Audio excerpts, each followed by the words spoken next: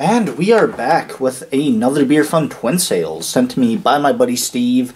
Uh, this one is one I've had a few cans of already. He sent me a four pack or six of them, something like that. But um, yeah, been really enjoying it. This is going to be a Lush Crush Pale Ale. Beautiful labeling to it. Um, really enjoy that. But um, yeah. It's coming in at 3.8% alcohol by volume, 15 IBUs, so a session pale ale, uh, brewed with malted oats, 60% malted oats in the uh, malt profile there, and then uh, Citra and Apollo hops. So let's get it poured, see how it is. All right, uh, we got the Lush Crush poured, and it is looking absolutely beautiful. It pours that super hazy um, New England opaque like uh, pineapple juice kind of color. I'm guessing there's tons of carbonation on it. I can't really see it through the haze, but the head's saying it's got tons of carbonation on the beer. But um, yeah, super fluffy, frothy, pillowy, meringue-like, bright white head. It's an awesome looking brewski. Let's get an aroma. Not much coming off the uh, nose. But uh, yeah, it might be that huge head on it. Let's try it from the can. Mm, wow. Yeah, big New England. Uh, there's yeah that huge New England uh, herbaceous, uh, fruity kind of quality to it.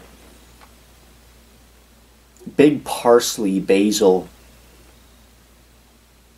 It smells really, really good.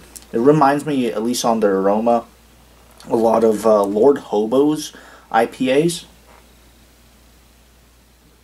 But with like that Trillium New England kind of juiciness, you know, it smells really good out of the can. So, uh, yeah, let's give it a taste. Cheers.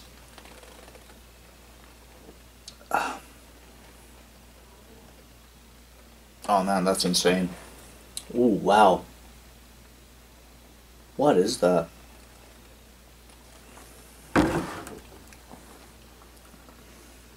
Yeah, super juicy, super fruity. But there's this certain flavor in it that I'm trying to pick up. Um, something like a tart green grape. Something like that going on. Like, there's definitely the orange, the orange peel, uh, huge citrus, huge uh, tropical fruit notes. Um, I want to say like mango, something like that. excuse me, lots of carbonation on the body. Uh, speaking of the body, 3.8%, unbelievable. Like, that is like a medium kind of body, not what you would expect at uh, that light ABV. The carbonation might be a little high, but um, yeah, the mouthfeel is phenomenal. Like, there's this beautiful, like, soft creaminess on the uh, um, front of the tongue, back of the tongue, sides of the tongue there. Center of the tongue is a little bit spritzy. But um, yeah, the flavors, it's, it's reminding me of like kiwi, something like that. It's just really damn good. This this is one of the best ones I've had from uh, Twin Sails yet.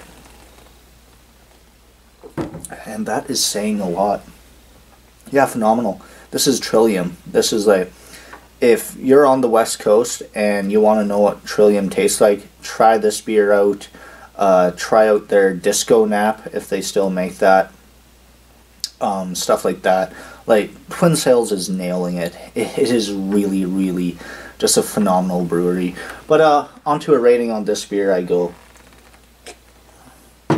best session IPA I've ever had, save for like uh, Stone's Go To, which is a completely different beast.